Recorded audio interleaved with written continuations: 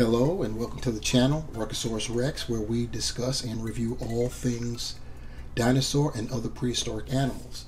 Today, what we're going to do is continue on with our Late to the Party campaign. Yes, indeed, that is the Beasts of the Mesozoic Ceratopsian series, um, Late to the Party, so that's why it is so named. Uh, and I immediately fell in love with this line. What we're looking at today is the Avaceratops lammersi. Now, Avaceratops is named for, it was discovered by a gentleman known as uh, uh, Eddie Cole, and he named the uh, his discovery after his wife, Ava Cole. So uh, it means uh, Ava's horn face, believe it or not. So uh, you see what we got going on in the packaging. Uh, you see that beautiful artwork of our Aviceratops right there on that sleeve. Then, of course, we have the uh, Beast of the Mesozoic logo as well as the Triceratops avatar. Then we turn to the rear and we see uh, artwork that's going to be on the uh, the collectible card that is included with the figure and uh, as you can see, this is number 13 in the line. It's actually uh, part of wave two of the Ceratopsian series. And you see up top, Avaceratops lammersi, uh, Ava's horned face. And you see that number 13 here. It has a readout, which uh, is uh, as follows. Length up to 4.2 meters or 14 feet long. Location, Judith River Formation, Montana, USA. The time period, late Cretaceous, 77 million years ago. Aviceratops is a bit of a curiosity due to its skull frill lacking fenestrae. Um, which is similar to uh, Triceratops, by the way. It had a solid frill, a characteristic shared only with uh, Triceratops. I guess I should have just continued reading, huh? Despite this similarity, its closest known relative is Nasutoceratops. Nasutoceratops is uh, centrosaurine, by the way. So um, that technically makes Avaceratops a centrosaur, but it's uh, kind of like in between, which is crazy. Uh, its closest known relative, as I stated, is Nasutoceratops. Avaceratops lived in wet, heavily forested environments. Art is by Raul Ramos, who has given us plenty of beautiful artwork before. Looking at the top of the sleeve, it reads 19 points of articulation, realistic movement and detail, profile card included, and once again, number 13. Sliding off that sleeve, I took the liberty of already uh, cutting away the, uh, the tape. You see the checklist for uh, Wave 2, and uh, as far as what we have uh, reviewed so far, uh, we've reviewed um, practically everything with the exception of Avaceratops and uh, Pachyrhinosaurus. And that review is coming very soon. So never you fret. I've been diligently working my way uh, getting all of these uh, figures and I'm almost complete as you will all eventually see. Anyhow, getting us back to the front, now you'll be able to see the figure fully in there. As you all know, the tail comes separated and when I uh, pull uh, Ava out of the uh, packaging it will be uh, fully assembled. And as always, as with all Beasts of the Mesozoic action figures, they come included with a backdrop so you could uh, display your figure within it to make some uh, pretty dynamic scenes there, and uh, this backdrop is no exception. The readout stated that uh, Avaceratops lived in uh, wet wetlands and uh, you know like forests, like rainforests and things of that nature. So this uh, this is very apropos. It looks great, and uh, I will be utilizing it for backdrops, both for the Avaceratops and for for other things. And here's the collectible card. As I mentioned earlier, they all come with one and uh, it's got that Raul Ramos artwork, and of course that uh, the information that I read earlier is on the back of the card. On the back of uh, this uh, packet there, we get instructions on um, how to heat up the tail if it needs to be heated in order to uh, apply it to the body, uh, either with hot water or with like a, a hair dryer. My tail actually went on easily, so um, that was pretty fortunate. So here we have our beautiful Avaceratops on our rotating base so you can see uh, the all-around view of this uh, Creative Beast Studios creation here, looking very nice. This is uh, this uh, color scheme is uh, based on the uh, flying dragon lizard, which is uh, you know got that that green motif there. So uh, as always, they base it on existing reptiles and amphibians. Their uh, their action figures. It's a base, and then of course they take artistic license to uh, personalize the set figure, and that's what's been done here. It's looking very nice. we're going to get our uh, Avaceratops off of the uh, platter and uh, take a, uh, a closer look at this figure. So the first thing we'll do with our Avaceratops is take a measurement from beak to the tip of the tail. We're coming in at 10 inches and uh, doing the calculations. These uh, action figures are scaled at uh, 118 so uh, Avaceratops was supposed to be, uh, it was reputed to be about 14 feet long, one of the uh, smaller species of this of this group of dinosaurs. So at uh, 10 inches, and uh, doing the calculations for a 118 scale figure, that puts it at about 15 feet long representative animal. So it's a little bit bigger, but um, it is a guesstimation that it's 14 feet. I believe originally the first uh, specimens found was uh, it was surmised that it was about 11 feet, and then it got uh, um, they found another skull, and then they uh, you know they they did what they did, and they came up with about 14 feet. So whatever the case might be, it's in there. You know, give or take a few inches.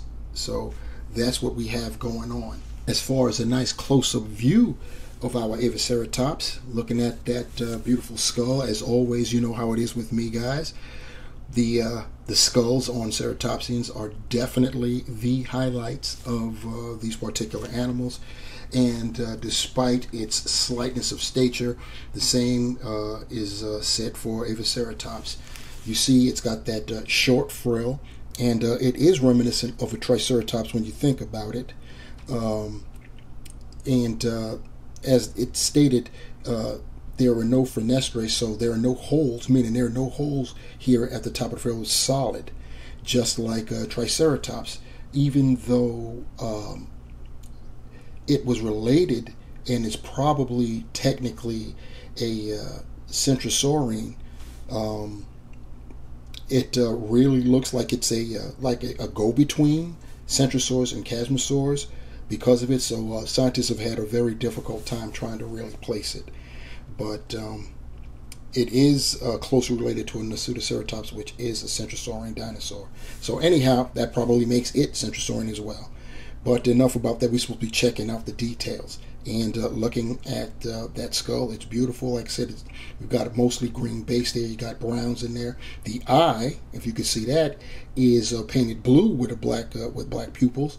So that's pretty cool. The horns it's got a, uh, a bone color with uh, at the base it's black and it's got like a charcoal gray wash or dry brush going uh, uh, over it, giving it a very nice looking weathered look, which is cool.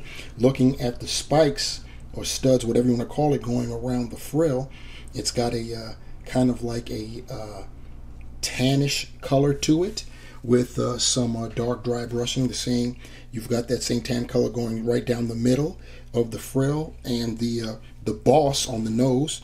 It's got the same thing, and uh, you've got those nice colors uh, there on the snout there, and of course that uh, the the color on the beak is uh, very similar to what you have on the horns.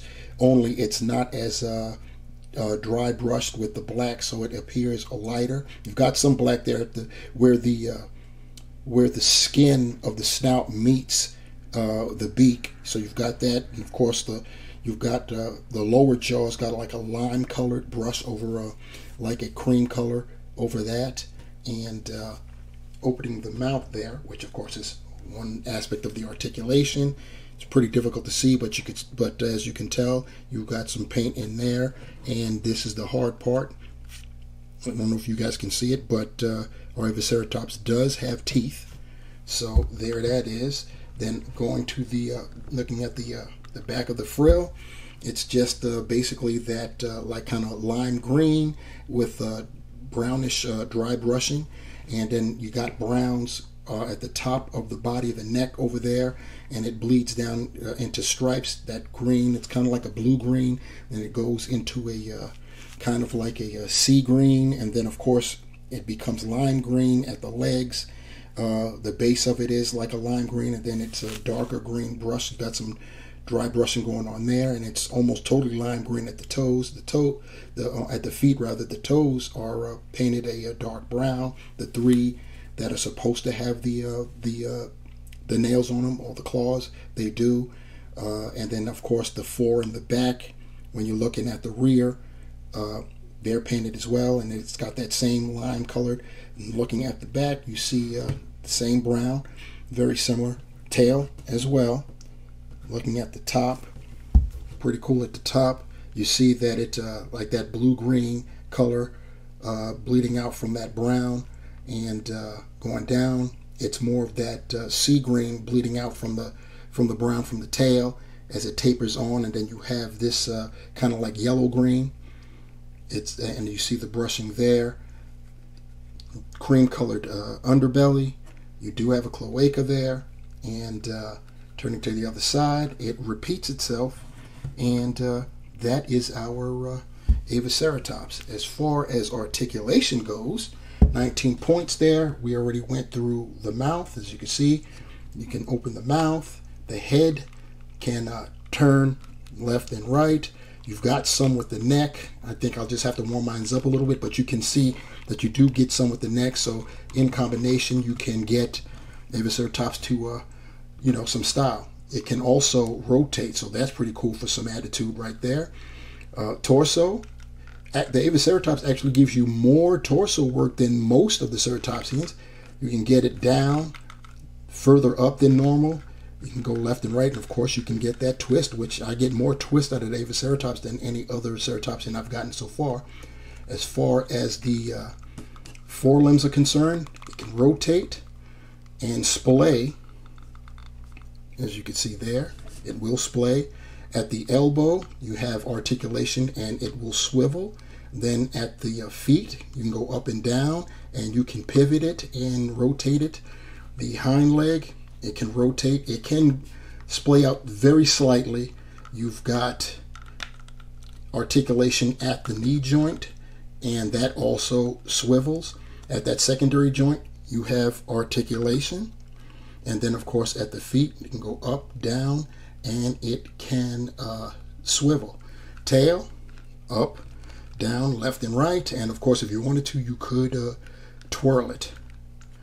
And uh, that is our articulation for our beautifully colored Avaceratops.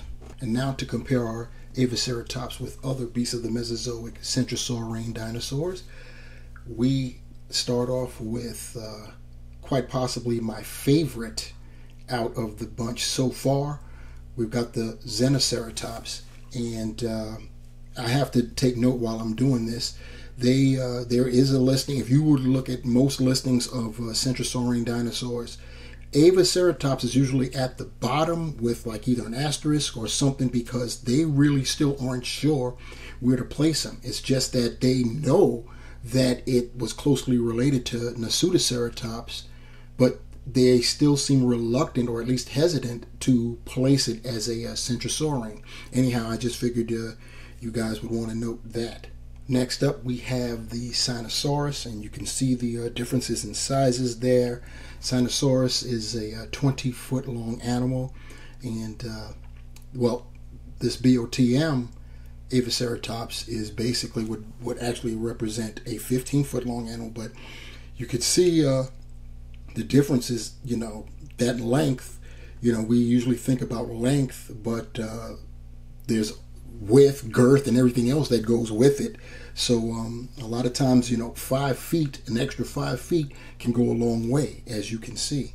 And finally, the type species for which this subdivision, if you will, is so named, we've got Centrosaurus itself, another uh, 20 footer, uh, more or less. Uh, this particular, actually, this is a, uh, I think it's like a 19 footer. something like that, if I recall off the top of my dome. But I mean, it's still in that neighborhood regardless. This particular uh, figure is, if I recall, is a little oversized, but uh, you still get the point there. Um, we uh, see now, you know, the uh, the differences, and once again, uh, is still in that uh, we don't know what it is uh, type of category.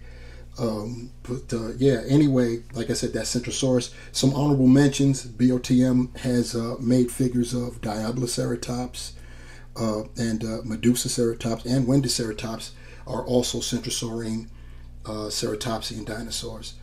So, and uh, BOTM has made uh, figures of all of those, as you guys well know, because we have reviewed them. So, in conclusion, the Beast of the Mesozoic by Creative Beast Studios, Avaceratops, another welcome addition, a very beautiful color after the uh, Flying Dragon Lizard, is, uh, well, you know, one of the smaller uh, additions to this line, as well as one of the smaller members of the Ceratopsian uh, family. Uh, an enigma of sorts, uh, considering that um, it resembles a uh, like an ancestor to uh, Triceratops, but is uh, closely related to Nasutoceratops, and Nasutoceratops is a uh, Centrosaurian dinosaur, whereas Triceratops is a Chasmosaurian dinosaur. So that's just crazy. Uh, scientists don't know where to place it, but we know where to place it. We love it. So. Um, that's really all that needs to be said about that. You know, it's got the 19 points of articulation, of course, making sky's the limit. The backdrop is on and cracking, as you guys can see. I told you I'd utilize it, and it looks very, very nice right there. Uh, yeah, what more can I say other than repeating myself or gushing over it like I've been doing for this whole line? So I will stop myself right there before I become nauseating. Anyhow, please like, share, and subscribe to the channel. Leave your comments, questions, critiques uh, below. And if you want to be notified when I upload another video, hit that bell and notified you shall be.